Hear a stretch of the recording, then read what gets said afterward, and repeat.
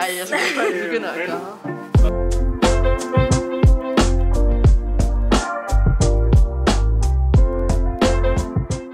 Altså, jeg var meget, meget nervøs, og jeg var virkelig spændt på det der med, hvilken vennegruppe man kom ind i, og man fandt nogen, og hvor man skulle placere sig henne.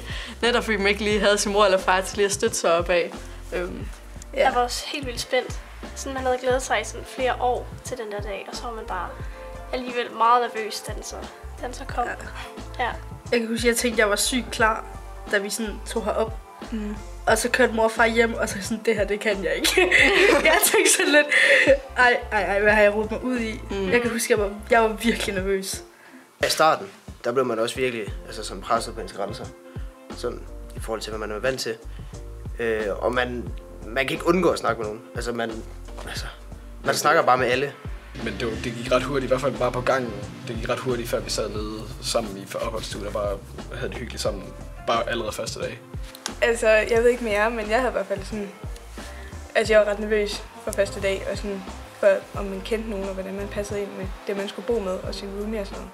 Yeah. Ja, altså jeg kan også selv huske, at jeg synes, at noget af det mest nøjeren første dag, det var, når man stod der. Jeg kom først ind på værelset, nemlig det, da vi stod ind på værelset, og egentlig var ventet på, at ens roomie kom. Ja. Og det der moment der, hvor hun trådte ind ad døren, det var, det var det nervepirrende. var virkelig ja, nervepirrende, men det var også, altså... Men det var jo også altså fedt det der med sådan, at man begav sig ud i noget nyt. Og sådan, man havde sådan en følelse af, at altså, man ved ikke, hvad der kommer, Ja. men at det er noget, der sådan nok skal blive godt-agtigt. Ja, det var vildt spændende. Sådan. Men det var, det var virkelig også hårdt til at starte med, synes jeg i hvert fald. Ja,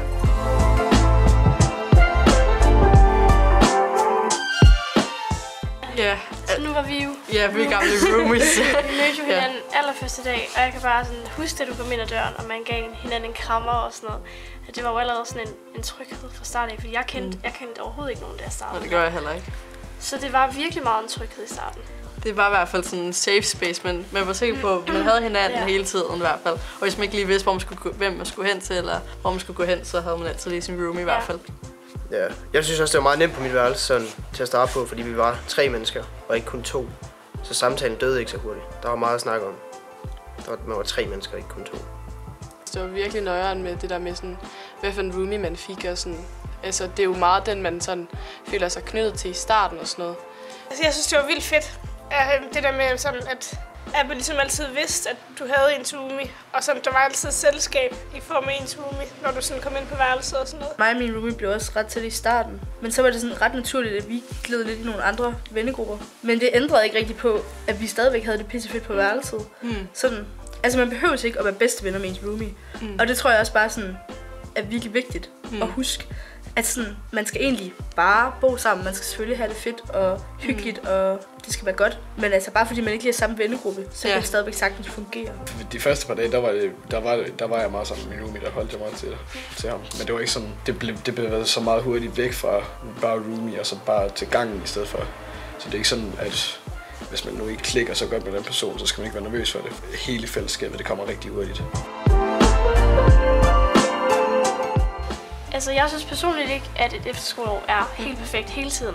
Men når man sådan ser tilbage på det nu her, hvor vi kun har øh, halvanden uge tilbage, mm. så tænker man jo kun på alle de der gode ting, ja, og man ja. husker sådan alle de gode ting, man har lavet sammen. Og sådan. ja. Men selvfølgelig så har man også tider, hvor man bare sådan er træt, og bare har lyst til at ja. slappe af, eller komme hjem til mor og far, eller et eller andet. Men, men ellers så, så har man det virkelig fedt. Det Ja. har man. Ja, et efterskoleår, jeg kan huske i hvert fald også, når jeg snakkede med mine venner derhjemmefra, og det hele lød bare så fedt, og jeg så på deres stories og alt det, de lavede og så videre. Jeg tænkte bare, det var bare at svæve på en lysrød sky. Det er det også, men man har altså også op- og nedture. Ja. Helt bestemt. Det kan man ikke undgå. Men mest af tiden, det er på den lysrøde sky. Ja. ja. Det er det helt bestemt. Især her det, slutperioden, det, ej, Ja, det er den er, godt fantastisk. nok, den er godt nok speciel. Ja. Men jeg tror også bare, at man skal passe på, at når man så har en dårlig periode, Ja. så skal man ikke sådan panik. Mm. Så skal man bare tage det stille og roligt. Og øh, sige, nu, nu er det ikke det fedeste lige nu, men Mm. jeg skal bare igennem det her. Ja. Og så skal det nok blive mega fedt igen. ja. Det tror jeg virkelig er vigtigt at Men det er netop det der med, at det tager et helt år, før at det bliver et godt efterskoleår. Ja, Det, ja man, skal kan, være der man kan ikke år. gøre det på en måned eller et nej, halvt år. det kan man simpelthen ikke. det kan man altså ikke nå.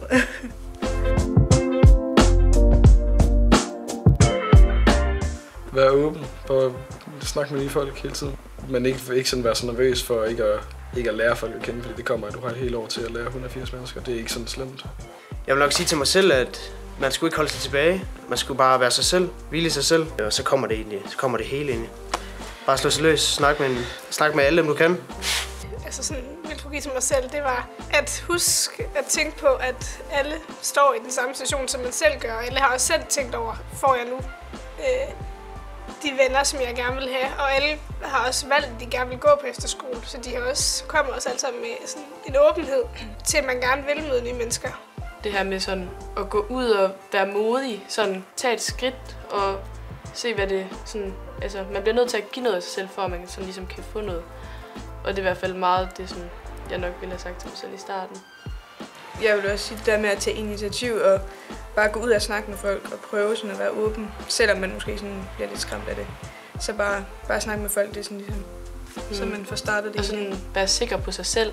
Ja, Altså jeg tror, at mit råd det vil være netop det her med, man ved, man har sin roomie som safe space. Så når du har tiden i løbet af dagen, og især rigtig meget i starten, komme ud og snakke med folk, og ikke være bleg over for at tale med nogle nye, og bare, ja, få deltage i alle aktiviteterne så meget du kan, fordi du kommer, lærer hele tiden en masse nye andre at kende.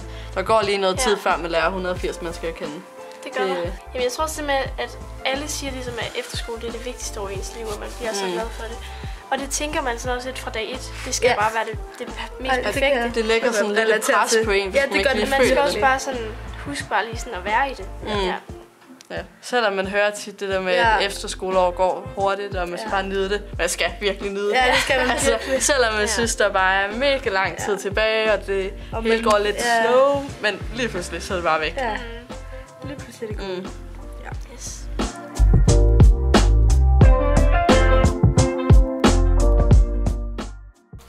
Helt vildt meget. Det skal man. Det er... Øh, bedste år i mit liv.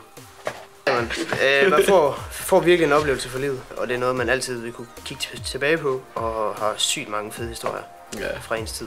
Man skal glæde sig Ja. vildt meget. Ja. Det skal man virkelig. Man skal virkelig sådan glæde sig og se frem til det, Ja. fordi Mm. det, det er sådan det skønneste år, man Ja, har. det er det virkelig. Ja. Det er. Og jeg har i hvert fald haft et, et øh, fucking fedt år. Ja, altså fantastisk. Vestbjerg, de er virkelig gode til sådan noget med fællesskab og sådan noget. Så I skal bare glæde jer. Altså, det bliver det vildeste. ja, det bliver så Og fedt. så husk at nyde det. Ja, virkelig nyd det. Selvom at man tænker i starten, hold kæft, der går lang tid før vi stopper her. Lige pludselig, Ja, så er det altså så er bare det gået. Ja, det gør Så det. nyd det. Okay. Ja. Det, kan jo, altså, det bliver bare det bedste år i mit liv. Altså, der er ikke andet at sige.